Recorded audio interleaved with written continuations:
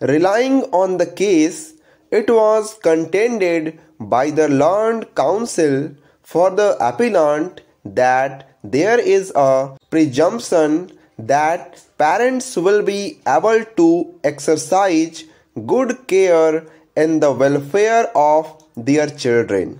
It was argued by the learned counsel on behalf of respondents that the impugned order warrants no interference.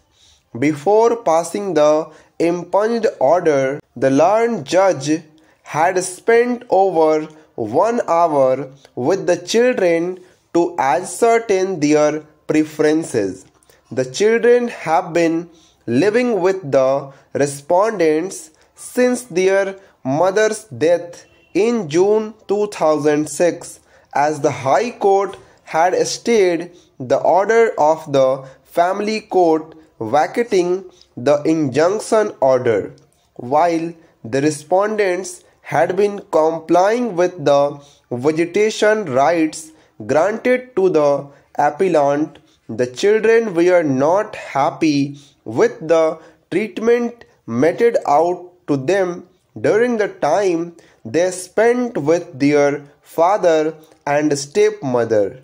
In contrast, respondent number 3, contrary to the apprehensions expressed by the appellant, has stated on record that she had no intention to marry and would devote her life towards the welfare of the children.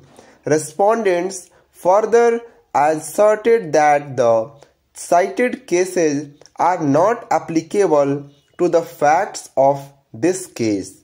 Para, we have heard the learned counsel for both the parties and examined the impugned order of the High Court and also the orders passed by the family court after considering the materials on record and the impugned order we are of the view that at this stage the respondents should be given interim custody of the minor children till the disposal of the proceedings filed under section 7, 9 and 17 of the Act.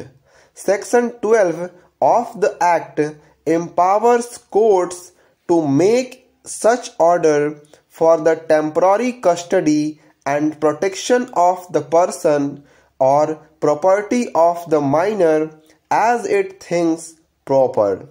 In matters of custody as well settled by judicial precedents, welfare of the children is the sole and single yardstick by which the court shall assess the comparative merit of the parties contesting for custody.